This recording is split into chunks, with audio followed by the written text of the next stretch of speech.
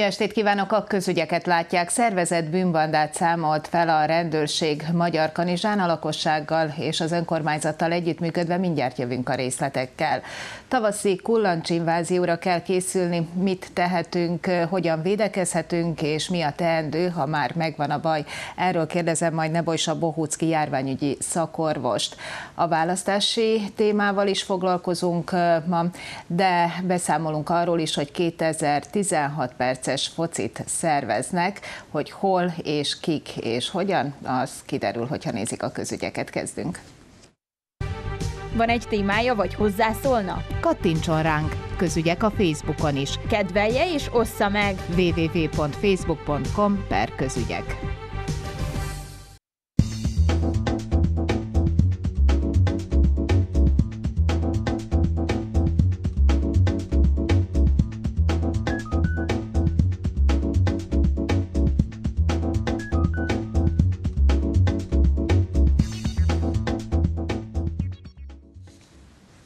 Az elmúlt időszakban egyre több volt a lopás és a betörés Magyar Kanizsán. A helyiek is erre panaszkodtak, az önkormányzat pedig úgy vélte, nem ártana, hogyha a rendőrséget egy kicsit több és hatékonyabb munkára fognák. Meg is lett az eredménye az összefogásnak, szervezett bűnbandákat számoltak fel. Magyar Kanizsán az utóbbi időben egyre gyakoribbak a lopások, a betörések. A lakosok szerint azonban a közbiztonság elfogadható szinten van. Az általunk megkérdezettek többnyire biztonságban érzik magukat. Extrém esetek így előre nincsenek. A lakosság többé-kevésbé biztonságban érezheti magát. Hogy a későbbiekben a nagy népvándorlással mi lesz és az mit hoz magába, azt majd a holnap mondja meg.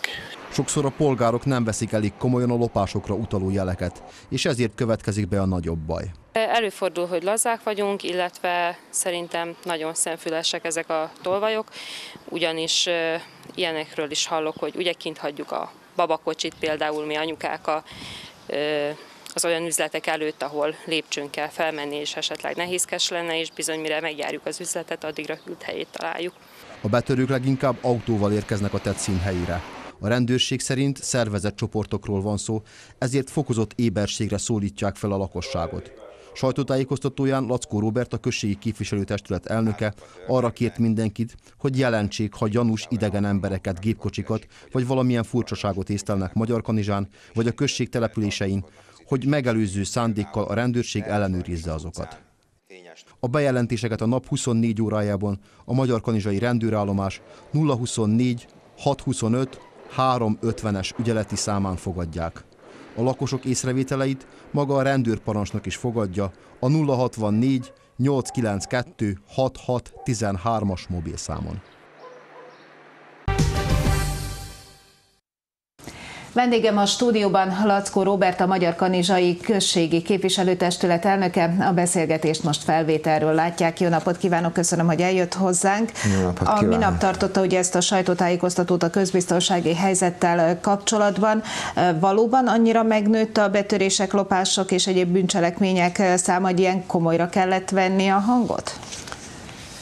Mm, komolyra venni, igen, komolyra kellett venni. Őszintén megmondom, nem volt ez annyira drasztikus, de egyértelmű, hogy egy sok hónapi átlaghoz képest igen megnőtt. Mond Még... valamilyen adatokat?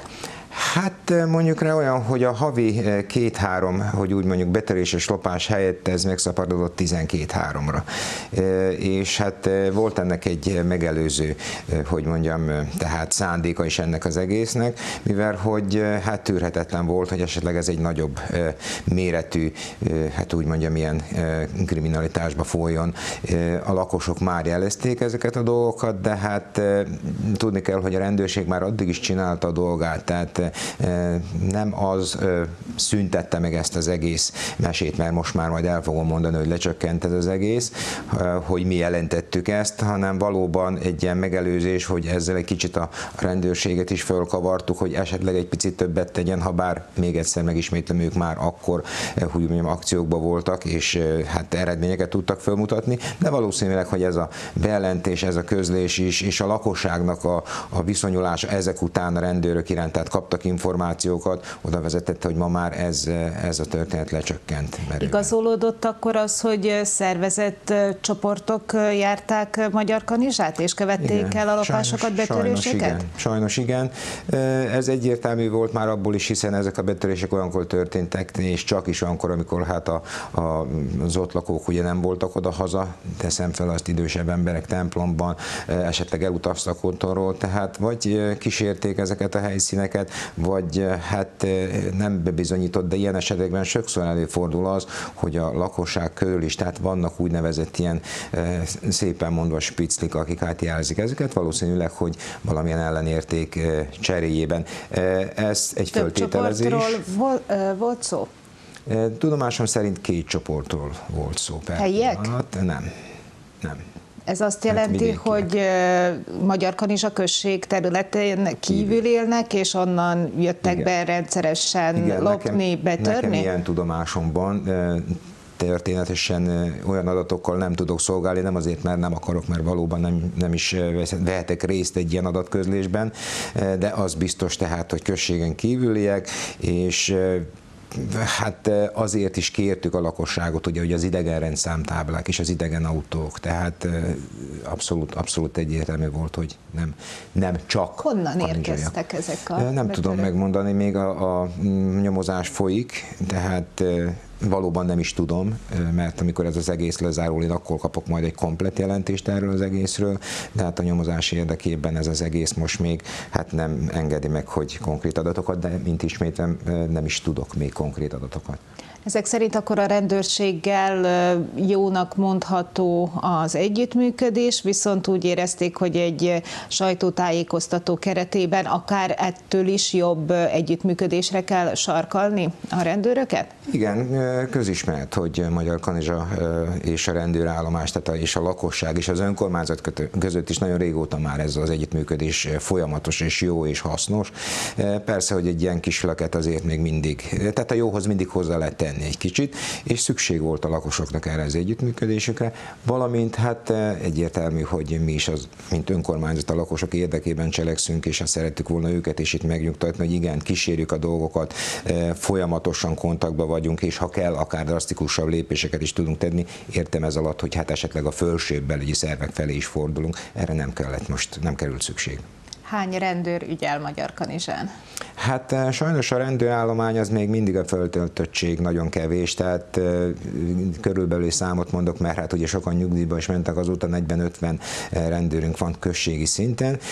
Április vége, június elején várjuk azt a 14 új akadémiáról megérkező fiatalt, rendőrt és rendőrlányt, hogy így mondjam, akikkel hát én nagyon remélem, hogy azért még szebb eredményeket tudunk elérni, és hagyd tegyem hozzá, hogy szándékunkban van egy nagyon komoly kamerarendszert fölépíteni az idén, nem csak Kanizsára, mint településre, hanem a községben, ami hát úgy szint javítani tudja ezt az egész, hogy úgy mondjam, megelőzést is, és hát magát a bűnüldözést is nagyon reméljük. Hány kamerát helyeznének ki, és hova? Egyelőre, egyelőre folyik a fölmérés erre, már eszközöket az idei költségvetésből erre elkülönítettünk.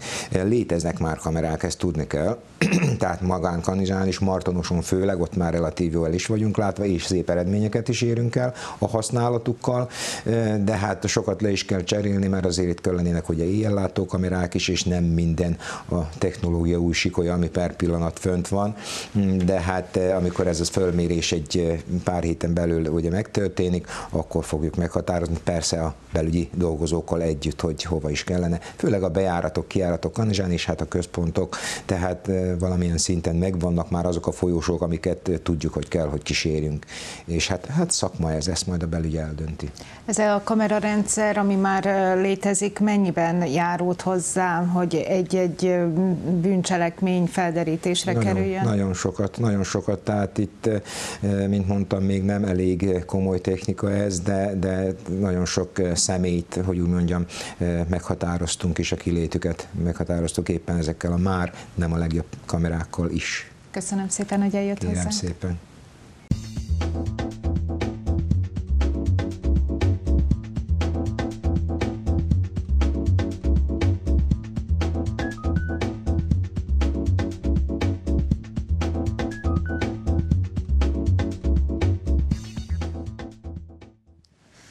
Egészségügyi témával folytatjuk. Az enyhe tél és a csapadékos időjárás kedvezett a súlyos betegségeket is terjesztő kullancs szaporulatnak, ezért az idei évben azt mondják a szakemberek, kullancs invázióra kell számítani. Mindjárt jövünk a válaszokkal a szakértőtől, előtte azonban nézzük meg az összefoglalót. A természettel a vérszívó kullancsok is felébrednek, a melegebb, nedves időszakot szeretik legjobban, így aki a kirándulásokat kedveli, könnyen találkozhat velük. Természetjáróként igen, egyszer találkoztam. Konkrétan egy Fruska górai maraton után vettem észre magamon a kullancsot. Tudja-e azt, hogy hogyan kell öltözködni annak érdekében, hogy elkerülje a kullancsokat? Hát igen, akkor ezt még nem tudtam. Hát én rövid nadrágban mentem, úgy, ahogy igazából kényelmesnek találtam arra az időjárásra, viszont erősen ajánlott a nadrág szárát az okniba betűrni, és hosszú nadrágban is hát tulajdonképpen a legkevesebb esélyt hagyni a kullancsoknak, hogy, hogy beférkőzhessenek a bőr területre. A világon több mint 800 kullancsfa ismert, Szerbiában mintegy 30 fajta fordul elő, és messziről képesek érzékelni a biológiai ingereket. A közhiedelemmel ellentétben nem csak a fákon várják az áldozataikat, hanem a cserjék, illetve a fűszálak leveleinek a fonákján is megtalálhatók.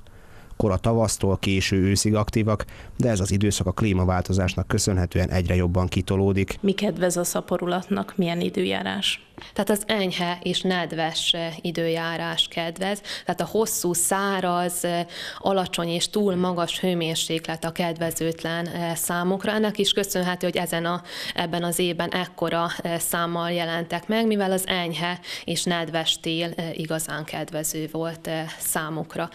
A másik rész, hogy nincsen természetes ellenségük, és tehát rendszeres írtás sincs, tehát rendszeres vegyszeres írtás sem végeznek. Kik a veszélyeztetettek? Hát mindenki veszélyeztetett, aki a természetben jár, így a, tehát a házi állataink is, a házi kedvenceink is veszélynek vannak kitéve. A kullancsok egy része veszélyes betegséget terjeszt, ezért ha bőrpírt észlelünk a csípés helyén, azonnal forduljunk orvoshoz. Környezetünkben többnyire két betegségről tudunk, ha bár több mint 30 féle betegséget okozhat. Nálunk közismert a Lyme betegség és a borreliózis. A Lyme-kór, vagyis a kullancs által terjesztett agyvelő betegség az egy olyan sok szövődménnyel járható betegség, szerencsére környezetünkben ritkán fordul elő, a másik, az pedig egy ilyen bőrpírrel járó megbetegedés, ami szinte látható is. Három-öt nap eltelte után, ahogy a kullancs csípés megtörténik, akkor már helyi pír jelentkezik, és egy ilyen gyűrűszerű elváltozás, egy piros gyűrű, ami egy fehér bennéket kísér. Az ember, ha észreveszi a kullancsot, gyakran ösztönösen söpri le magáról, ami nem jó reakció, ugyanis a vérszívót nem szabad nyomkodni, azonban mi hamarabb szakszerűen el kell távolítani. Pincettával érdemes hozzáfogni, hogy semmiképpen a potroháját nem nyomjuk meg, mert egy bőrszívó parazitáról van szó, és hogyha ő jól megszívta magát, akkor látható tulajdonképpen, és azzal, ha mi megnyomjuk a kullancsot, azzal ő üríteni fog a bőrünk alá kórokozókat, amik benne élnek, vagy ez a Burgendorfi baktérium, vagy pedig a Lyme-kort okozó FSME vírus. Szerbiában a kullancsok által terjesztett vírusos megbetegedés megelőzése érdekében két vakcina létezik, az FSME és az Encepur. Ezt a választott orvostól lehet kérni, aki kérvényezi az epidemiológiai intézettől, majd később ugyancsak a kezelő orvos adhatja be a páciensnek.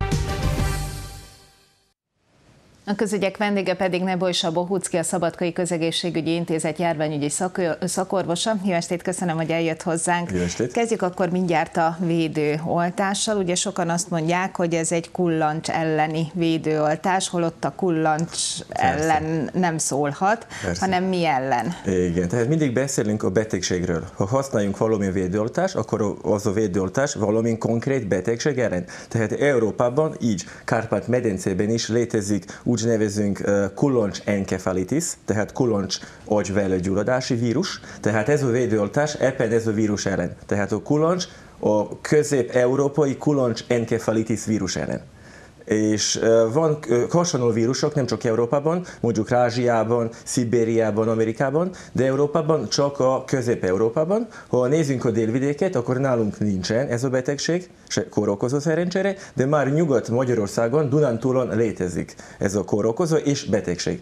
Tehát a védőoltás, aki él itt délvidéken, neki nem kell, nem szükséges védőoltás, se van ez De a amennyiben védőoltás. Magyarország nyugati felébe Igen. tart, akkor ajánlatos fölvenni? Hát attól függ, ha megyünk rövid időre nem. Mondjuk rá valaki, aki él Ausztriában, ők se vesznek fel. Pedig Ausztria, Svájc, Dél-Németország, Észak-Olaszország, Szlovénia, Horvátország, Nyugat-Magyarország, Szlovákia, ez a területeken van ez a kórokozó. És kuloncsok bírnak átadni ezt a betegséget. Tehát mikor megcsípnek embert vagy állatot, ez egy tipikus zoonózis, tehát állatról terjedő betegség, tehát inkább betegek az állatok. Az emberek csak véletlenül, mikor vannak az erdőbe, túráznak, vagy hasonló dolgokat csinálnak. Tehát nem szükséges ez a védoltás, pedig a betegség nem enyhe. Egyébként mindjárt innen folytatjuk, csak sokan azt mondják, hogy már nem érvényes az, amit ön is most az imént mondott, hogy azok a, a veszélyeztetettek, akik túráznak, erdőbe járnak, hanem már akár a városi parkokban, óvodai játszótereken, bárhol megtalálhatóak a kullancsok, és veszélyben vagyunk, idén tavasszal pedig még nagyobban, mert Igen. hogy invázióra kell Igen, számítani. persze, volt elég enyhe ez a tél. Ha melegebb, mint plusz 10 fok, akkor már aktívák a kullancsok. Tehát nálunk, ahogy már mondtam, szerencsére nincs ez a nem annyira enyhe betegség, kuloncs enkefalitis, de van Lyme-kor, tehát a Lyme betegség, morbus Lyme. No, ez a bakteriális betegség. Azért nem annyira veszélyes, mert ha beszélünk baktériumokról, akkor persze antibiotikum mindig a gyógyszer. Ha beszélünk a vírusokról, mint a kuloncs enkefalitis, itt nincsen konkrét orvosság, azért itt fontosabb a védőoltás. És ebben azért se létezik a Lyme-kor elleni védőoltás. Tehát akkor azok a védőoltások, amelyek az anyagban is elhangzottak, azok a Lyme-kór ellen nem védenek. Igen, tehát csak a, tehát ez a kuloncs enkefalitis ellen, és szükséges három dózis. Ha esetleg valaki szeretne felvenni, ha mondom, él uh, Dunántúl az a területen, vagy Ausztriában, sok ember most ugye megy arra. Ingázik, igen. Igen, igen, akkor uh, bírja fe- felvenni, de kötelező három védőoltás.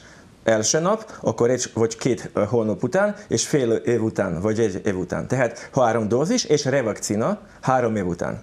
Ezért, Összesen négy dózis. ezért fizetni kell? Ö, attól függ, nem tudom Magyarországon milyen a helyzet. Persze nálunk, ami kötelező védőoltás, Szerbiában nincsen. Remélem, hogy Magyarországon is így van, de szerintem, ha jól tudom, az nem kötelező védőoltás. Nem az a listán. Tehát inkább valaki, aki professzionálisan van, tehát megy erdőbe, attól függ. Tehát neki kötelező, nekik is uh, ingyen, de én gyerekeknek, uh, embereknek nem. Mit tehetünk? Ugye a Lyme-korra mondják azt, hogy nagyon veszélyes, attól fél mindenki, hogyha a kullancs szó elhangzik, biztosan, hogy a Lyme-kor is elhangzik. Valóban annyira veszélyes, amennyire a köznyelv tartja? Szerencsére nem. Tehát mindig van első fázis. Mikor észreveszünk kullancsot, kell kivenni. Tehát kell csipész és türelem, csak két, kettő dolog. Ha esetleg ez nem sikeres, vagy nem észrevetünk a kullancst, mert ha beszélünk a kullancsokról, akkor itt van négy dolog. Tehát a, először a tojás, ovum, aztán lárva, nimfa, és csak két év után imága, vagy felnőtt formája. Tehát ha beszélünk a lárvárokról, vagy nimfáról, nagyon pici, és nem bírunk észrevenni.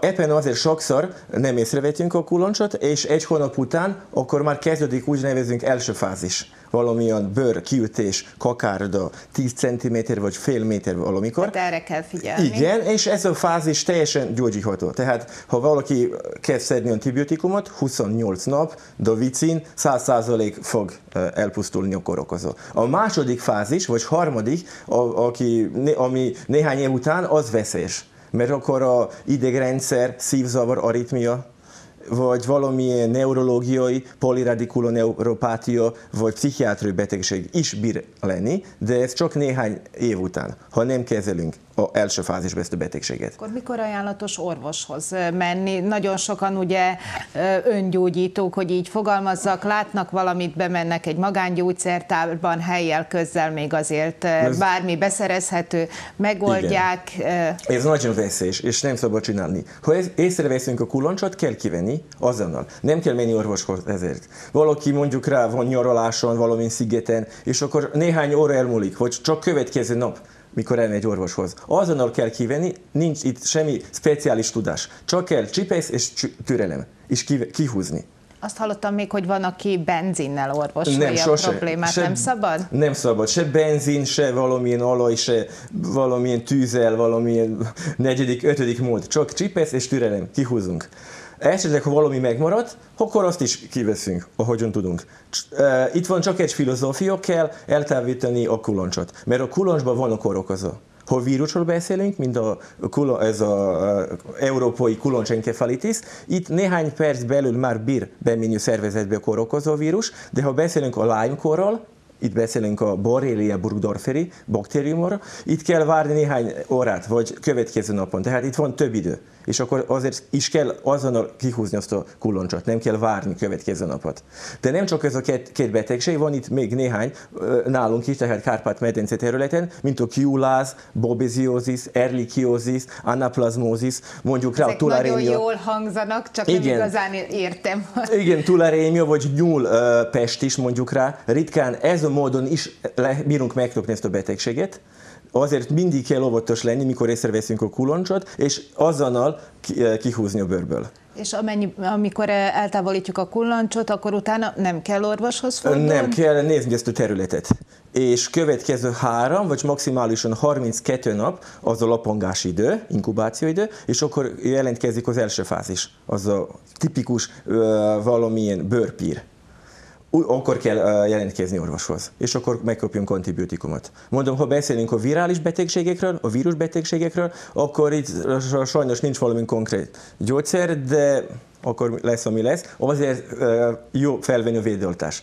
Tehát akkor ezektől a szalagcímektől, hogy kullancsinvázió jön, vigyázzunk, nem kell megijedni? Nem kell, nem kell. Tehát szerencsére mondjuk rá ez a relatív veszélyes betegség, a kullancsenkefalitis. Magyarországon van egy évben körülbelül 50 eset. Lyme-kor egy eset per tízezer emberre, nálunk, nálunk is délvidéken. Tehát összesen 200 beteg van egy évben. De eddig is volt elég sok kullancs, ha nézünk múlt tíz évet. Tehát akkor, hogyha természetben járunk, figyeljünk oda, távolítsuk el a kulancsot egy csipesszel és semmi mással, és amennyiben bőrpírt észlelünk, akkor forduljunk orvoshoz, ennyi a tudomány, ha röviden összegezném. köszönöm. Köszönöm szépen, hogy eljött.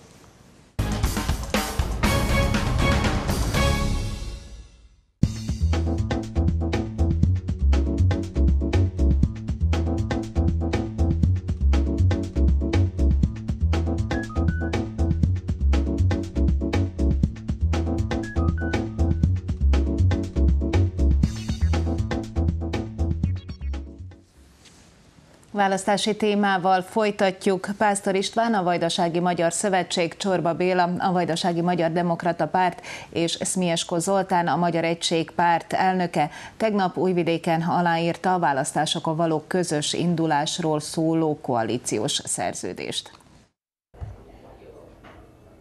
A szerződés értelmében a VMS programjába beépítik a VMDP és a Magyar Egységpárt által megfogalmazott programelemeket.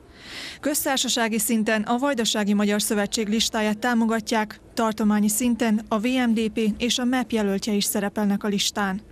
A köztársasági és a tartományi lista neve Vajdasági Magyar Szövetség Pásztor István. Az önkormányzati választási listák elnevezése négy önkormányzat kivételével ugyanez.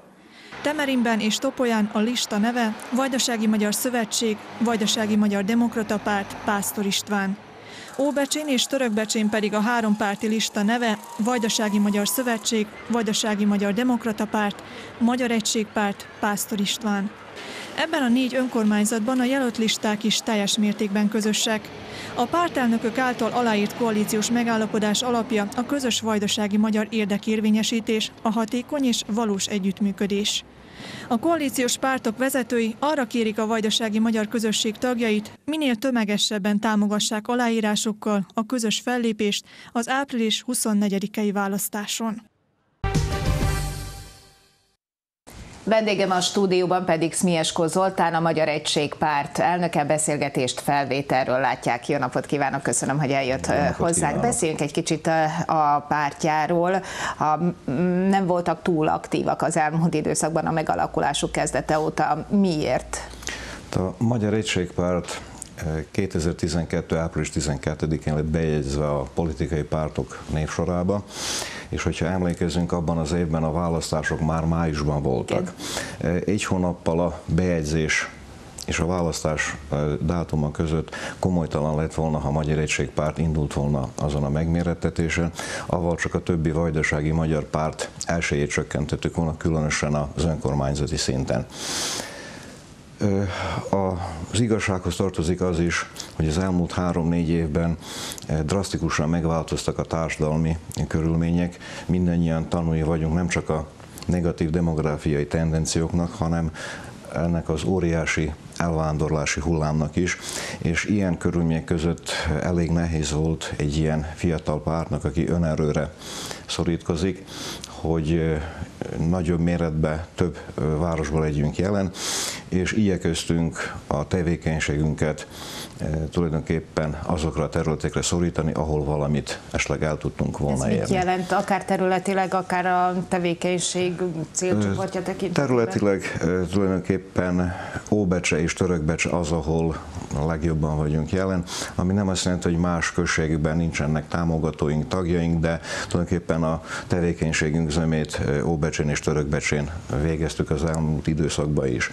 Ami a célcsoportunkat illeti, azt elsősorban már az alapító okmányainkba lefektettük, hogy szerettük volna és szeretnénk megszólítani azokat a vajdasági polgárokat, akik az elmúlt időszakban a választásokon vagy részt sem vettek a választásokon ilyen-olyan megfontolásból, vagy pedig a voksukat nem az az egyetlen vajdasági magyar pártra se adták le. Úgyhogy a mi célcsoportunk ez a, ez a réteg lenne, akik eddig nem szívesen vettek Mivel részt a tudják választásokon. őket megszólítani? Tehát mindig vannak, akik nem mennek elszavazni, mindig vannak, akik úgy gondolják, hogy most nincs tétje a választásnak. Különböző oka lehet ennek. Őket hogyan kívánják megszólítani most? A megszólítás a választásoktól is függ. Valószínűleg, hogy nem ugyanavval a kérdéscsoporttal találkozunk, ha a köztársasági választásokról van szó, vagy tartományról, vagy pedig ha ugye a helyi önkormányzatnak a választásáról beszélünk. Az alapvető megszólítás az, hogy minden politika, az is politizálás, hogyha valaki nem vesz részt a választásokon, mert tulajdonképpen akkor a szavazatát, a helyét átengedi valaki másnak, és akkor utána bizony kár keseregni, hogy így van, vagy úgy van, ha az ember nem tett meg semmit, hogy esetleg más fele induljon a politikum. Az utóbbi időben pont ezt próbáltuk elmagyarázni, nem csak a taktársainknak, mert azok előtt világos, hanem épp ez a célcsoportunk előtt, hogy igenis részt kell venni a választásokon, és arra a politikai opcióra kell ugye leadni a szavazatot, amelyikre gondolják, hogy legközelebb áll az ő elképzeléseiknek, vagy amelyek a legjobb programot tudják nyújtani az adott választási ciklusban. Miért sorakoztak föl most a Vajdasági Magyar Szövetség mögött? Mindig is az volt a véleményünk, hogy legjobb lenne, ha a vajdasági magyar pártok együttesen, közösen indulnának a választásokon.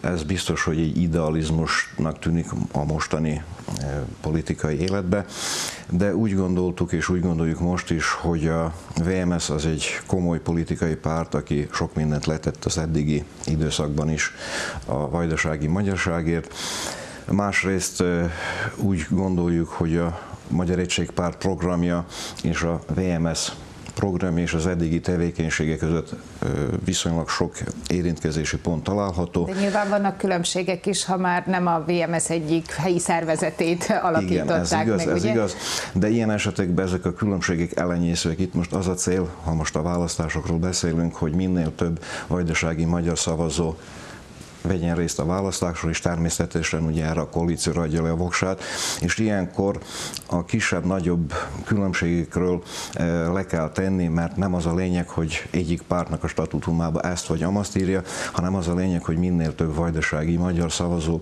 vajdasági magyar pártokat támogatjon, és én gondolom, hogy ez a három párti koalíció, meg a program, amivel a napokban fogunk előrukkolni a választópolgárok elé, egy megfelelő alapot képez arra, hogy minél több vajdasági magyar szavazó erre a három vajdasági magyar pártra szavazzon. Akkor ezek szerint a programról még nem kérdezhetem, mert azok a, azzal majd a napokban rukkolnak elő. Igen, igen, Viszont igen. azokat az elemeket ismertethetné, amelyeknek a programba való beépítéséhez ragaszkodtak?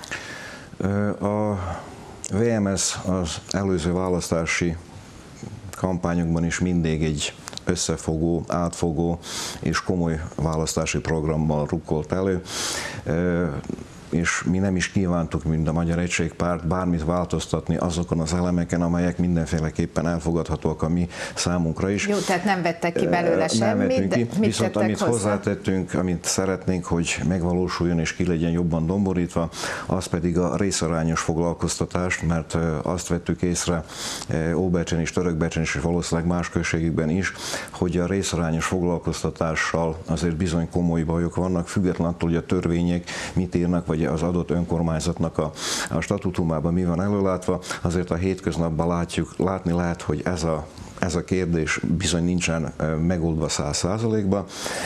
Akkor a továbbiakban szerettük volna kidomborítani a nemek közötti egyenlőséget is, különösen a munkavállalás vetületében, mert ez is egy közismert dolog, hogy sajnos a a nőknek a munkavállalása még nehezebb, mint a férfiaknak ebbe a nehéz gazdasági helyzetben. Most nem szeretnék kitérni a bérpolitikára, hogy nagyon gyakran ugyanazért a munkáért különböző fizetés van fizetve, attól függően, hogy férfiről vagy ugye nőről van szó.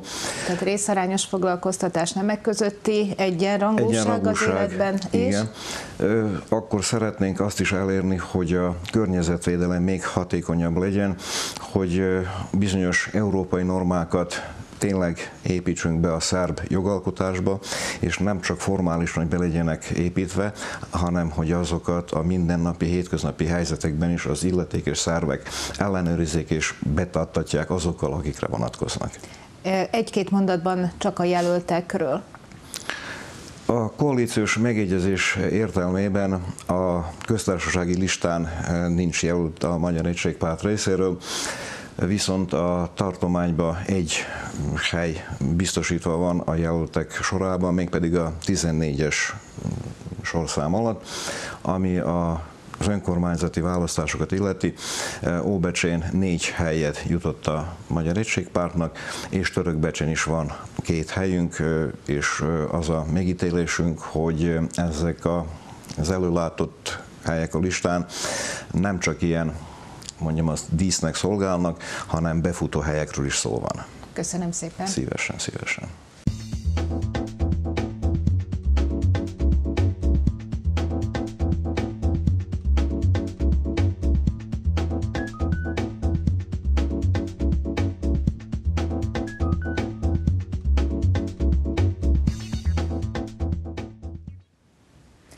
2016 perces foci, ez lesz hamarosan Bács-Feketehegyen, részletek pedig a szervezőtől, a Vajdasági Magyar Szövetség ifjúsági fórumának elnökétől, Fehér Szabolcstól, illetve a topolyai alelnöktől, Szabolcski Szabolcstól. Jó estét, köszönöm, hogy eljöttek hozzánk.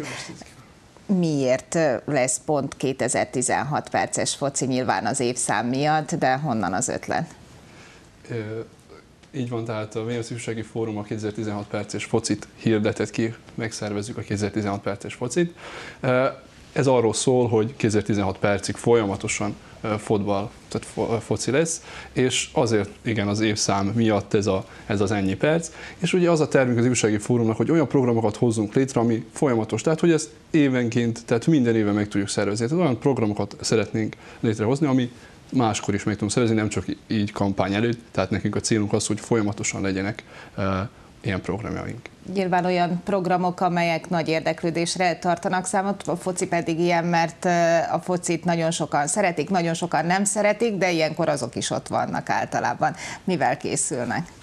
Hát igen, mindenféleképpen, mivel hogy a sportrendezvényről van szó, nagy érdeklődés mutatkozik már a jelentkezésnél is, de viszont a jelentkezést egy kis videóhoz kötöttük, és sokan egy olyan gonddal fordultak hozzánk, hogy nem tudják összegyűjteni a csapat tagokat, hogy egy videót készítsenek, tehát el szeretnénk mondani, hogy ezen tudnak úgy is jelentkezni, hogyha csak küldenek egy jelentkező e-mailt a 2016 perc foci kukaszgmail.com-ra. Tehát akkor kétféle módon lehet most jelentkezni, hagyományos Igen. módon, ahogyan eddig megszokhattuk, Igen. illetve várják azért továbbra is a kisfilmeket, nem? Persze, természetesen persze, eddig is érkezett videó, csak sokan jelezték azt, hogy jó lenne megkönnyíteni. Hogy valaki megijedjen és most ne küldjön, tehát aki szeretne, vagy elkészítette, vagy már már készülésben, tehát hogy már folyamatban van a, a videókészítés, akkor azok mindenféleképp küldjék el, mert az jó lesz, az biztos. Kiket várnak, kik jelentkezhetnek? Hát az életkort a 15 és 40 év közé tettük, ezen belül lehet vegyes csapat is, női, férfi, lehet csak női csapat is,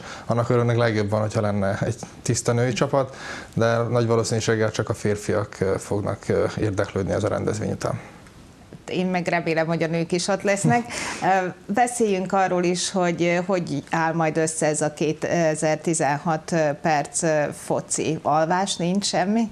Hát biztosítunk alvóhelyet azoknak, akik szeretnének egy kicsit pihenni is, de viszont beosztott idő szerinti játékrend lesz, tehát első körben lesz egy csoportkörös mérkőzés, onnan jutnak tovább a bajnokságba, és később a döntőbe. Tehát mindig megvan, hogy mikor játszanak, és tudnak majd pihenni is. Alkalmazkodni fogunk ahhoz, hogy hány csapat jelentkezik, és ahhoz fogjuk össze, azt szerint fogjuk összeállítani, hogy pont milyen lesz a, a, a meccseknek a folyamata, és akkor így tudni fogják majd ők ezt előre, tehát a jelentkezés lezárul március 27-én, Igen. és utána tudni fogják minden csapat előre, hogy mikor fog játszani és, és akkor ők be tudják osztani, hogy ott mikor fognak aludni, lesz, aki éjfélkor vagy két, kettő órakor kezd focizni, de, de ezt ők be tudják majd osztani maguknak, lesz ott tehát alvás lehetőség is, így ahogy a Szabolcs mondta. Hány csapatra számítanak? Hát mink minél többre. Mindenre felkészülünk. Tehát felkészülünk a, a minimálisra is, és a maximálisra is. De maximálisan valószínűleg 25-30 csapatot tudunk majd fogadni. Így van rekordot szeretnének dönteni, vagy mi a céljuk ezzel a hosszú-hosszú focival? Nem néztünk utána annak, hogy melyik a világcsúcs tartó kispályás focitornának az ideje, de viszont ebben az évben is szerveztek már máshol ilyen rendezvényt, de Vajdaságban még ilyen 2016 perces vagy ehhez hasonló rendezvényt még nem szerveztek mondjuk el még egyszer a tudnivalókat, tehát hol lehet jelentkezni, kik jelentkezhetnek, mit várnak tőlük, mekkora foci tudást, és az egyéb fontos infókat. Tehát a, az, az időpont az április 1 tehát április 1-én 10 órakor fog kezdődni, este. így van este, és utána tart április harmadikáig, ami reggel 7 óra 36-ig, most meglátjuk, hogy az, azt a meccset végigengedjük, nem, az majd az még részletkérdés, de hogy reggelig fog tartani. Jelentkezni a 2016 perc foci gmail.com e-mail címre tudnak, vagy kis videó formájában, vagy pedig csak csapatnév, csapatlévcám és életkor földüntetésével. Ezen felül valószínűleg még szórakozási lehetőség is lesz, ez mellett lesz egy szombatesti buli is, tehát egy diszkóest ott a Bács-Feketehegyi Kultúr otthonban, ott lesz megoldva a szállás lehetőség is, az étkezési lehetőség is, és a szórakozási lehetőség is. Lesz-e valamilyen jutalom, díjat osztanak-e? Minden, mindenféleképp lesz, tehát az, az első három helyezett csapat, első három, csapat, első három helyezett csapatnak lesz mindenféleképp díj, de a többiek is, is mindenféleképp meg lesznek jutalmazva, és emléket fognak kapni erről a erről az eseményről. Van egy jótékonysági jellege is a rendezvénynek, uh, igen, nem hát, a focinak. Uh, igen, a Vajdasági Magyar Szövetség Topolya Ifjúsági Fóruma egy jótékonysági diszkóestet szervez Pacséron, most pénteken a Mi Csiszidóra nevű pacséri kislánynak gyűjtünk, akinek elromlott a hallókészüléke, és sajnos ezáltal nem járhat iskolába. És a javítási költség 3500 euró, amit a család már önköltségből nem tud fedezni. Igen, ezért... mi is bemutattuk a családot már Igen. itt a Pannon TV műsoraiban. Igen, és sokan kezdtek jótékony akcióba is, mivel már nekünk volt jótékonysági rendezvényünk is, mint ifjúsági fórum, igen, és célunk az, hogy segítsünk. Ezért úgy döntöttünk, hogy szervezünk egy ilyen rendezvényt, amire ö, helyi, de a környékbeli településeken is nagy igény mutatkozott. Pont azért, mivel az elmúlt időszakban Pacsiron sajnos szórakozási lehetőség sem volt a fiataloknak, ezért nagy örömmel fogadták azt, hogy egyszerre szórakozhatnak, de ezáltal segíthetnek is.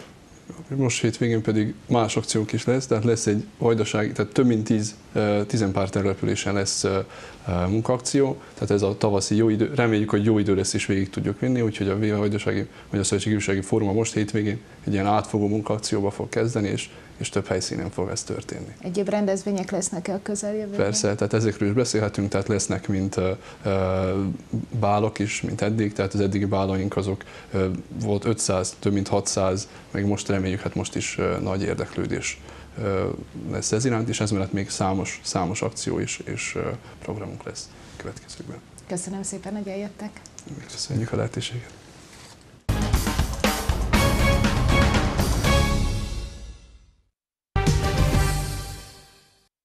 Ez volt már a közügyek. Köszönjük a figyelmet. Holnap 18 óra 5 perctől várjuk Önöket ismét. Szép estét!